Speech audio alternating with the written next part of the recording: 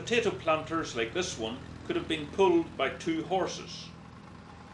It's most likely that horse operated planters would have only planted one drill at a time. The gearing mechanism is powered by a spiked wheel running along the bottom of the drill. As the wheel turns, it drives a chain pulley, which in turn drives the two revolving cylinders. The men simply place the potato seed into the slots, and when the wheel comes to a certain point, the seed is dropped down into the drill and is covered by the drill ploughs. The manufacturers claimed that this planter was capable of planting more than six acres in a day, but in reality, four acres was considered a good day's work. Alex bought this machine from Sam Davidson, a big potato grower from Cookstown.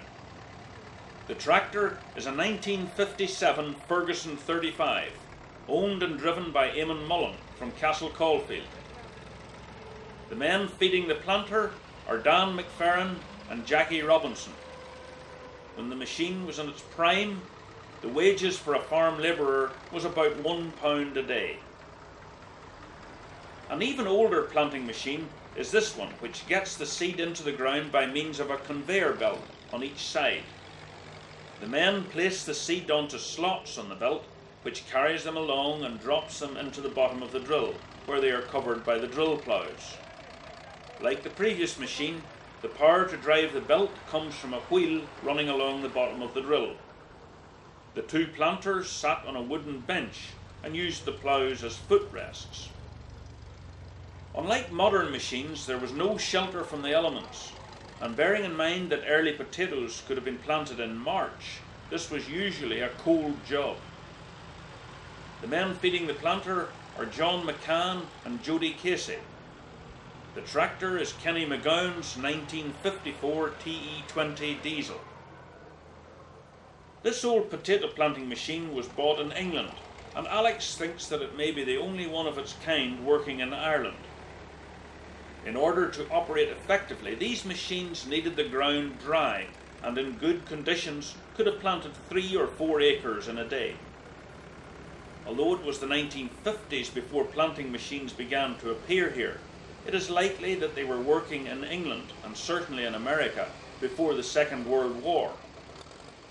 By far the most popular potato dropper from bygone days was the bell dropper, another of Harry Ferguson's ingenious labour saving devices.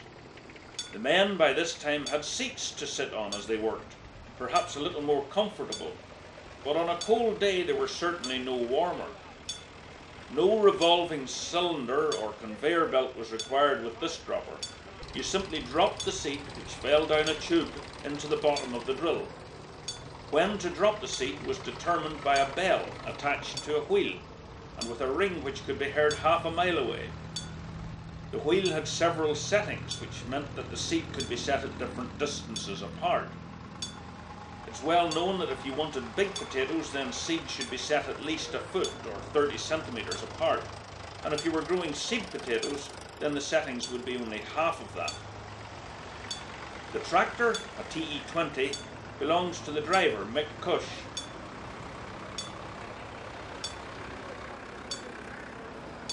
The seed bin could hold a quarter of a ton of seed, and in a long day it was possible to plant six acres.